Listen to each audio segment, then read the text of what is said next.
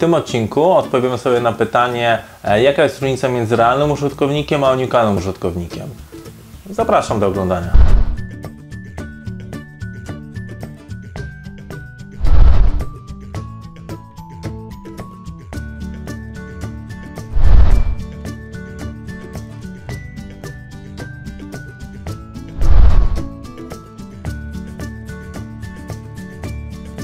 Dlaczego o tym mówię?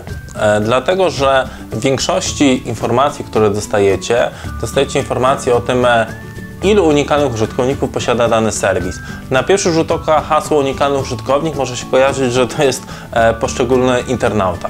Tak naprawdę według definicji e, Gemiusa unikalny użytkownik to jest pojedyncza przeglądarka internetowa, tak naprawdę te pliki cookies, które ona zapisuje. Czyli to są te, te ciasteczka, które e, powodują, że za każdym razem jak wejdziecie na stronę, to macie zapisaną swoją historię, macie zapisane hasła, e, jest, ta, jest wyszukiwarka w stanie podpowiedzieć Wam e, to, co ostatnio wybieraliście. E, Oczywiście strony, tak naprawdę te większe, te duże, które e, poddają się badaniom megapanelu, są w stanie oszacować, ilu tak zwanych internautów, e, prawdziwych osób jest na ich stronach, ale to jest zawsze tak naprawdę szacunek.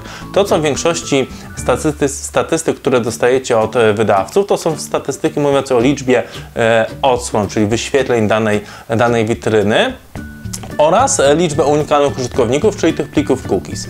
E, jeżeli sobie porównamy, no to zobaczcie, ja jestem jednym internautą, ale ja będąc na przykład w pracy mogę korzystać z laptopa służbowego, wchodząc na daną stronę, wtedy będę jednym e, unikalnym użytkownikiem. Kiedy wrócę do domu i skorzystam z, z tej samej strony, ale już ze sprzętu domowego, czyli z domowego laptopa będę już drugim unikalnym użytkownikiem. Za chwilę mogę odpalić tą samą stronę z komórki, więc będę już trzecim unikalnym użytkownikiem. Gdy odpalę sobie tą samą stronę, ale używając na przykład telewizora, będę już czwartym unikalnym unikalnym użytkownikiem i tak naprawdę e, za każdym razem, gdy będę zmieniał przeglądarkę internetową, nawet e, zainstalowaną na e, tym samym komputerze, no bo na jednym komputerze możesz mieć dwie kilka lub kilkanaście różnych przeglądarek internetowych, wtedy za każdym razem będę innym unikalnym użytkownikiem dla tej e, witryny.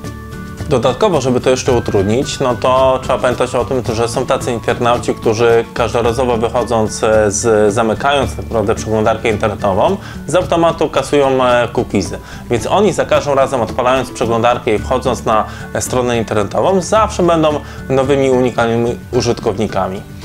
E, jest także taka sytuacja, w której z jednego komputera mogą korzystać dwie lub trzy lub cztery osoby.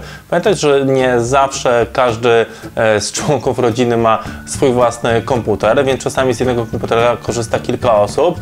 Mimo, że jest tam jedna przeglądarka internetowa nie kasująca cookiesów, no to dalej z jednej przeglądarki korzysta kilka osób, więc jest bardzo ciężko e, wyestymować, ile jest tak naprawdę tych realnych użytkowników korzystających z danej strony internetowej. Znacznie łatwiej e, taką liczbę realnych użytkowników jest oszacować w przypadku e, dużych portali, no bo tą liczbę realnych użytkowników szacuje tak naprawdę badania megapanelu PBI.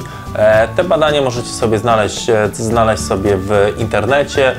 Tam będziecie mieli posegregowane na różne kategorie i dzięki temu możecie w miarę jakoś oszacować, ile jest realnych użytkowników co nie zmienia faktu, że tak naprawdę i tak nie jesteście w stanie puścić kampanii reklamowej e, skierowanej tylko i wyłącznie pod e, realnych użytkowników. To, co najwyżej możecie zrobić, to albo zrobić capping czy cokolwiek innego, ale skierowane pod konkretną przeglądarkę internetową. Dziękuję, że wytrwaliście do końca. Zapraszam na kolejne odcinki. E, do zobaczenia w sieci.